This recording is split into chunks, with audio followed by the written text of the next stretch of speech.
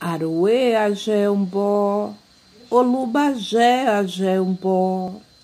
Peço licença para falar com vocês e pedir a vocês que façam reflexão. Esse é o mês do Olubagé, quando o Senhor da Terra vem comer entre nós e nos convida para comer.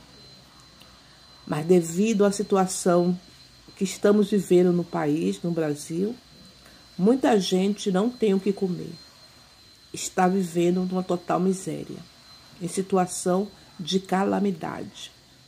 Você, como macumbeiro, macumbeira, pessoa do axé, tem como responsabilidade acabar com isso.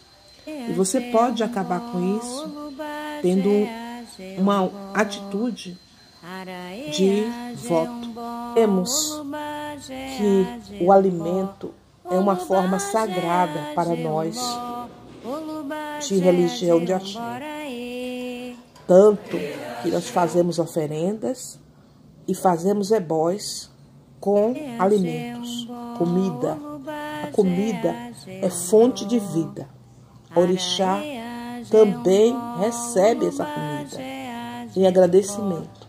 E se não há comida, não há o Lubagé. Então, se há alguém com fome nesse Brasil, nós somos responsáveis também. Então, eu chamo você, a sua consciência, para que mude essa realidade.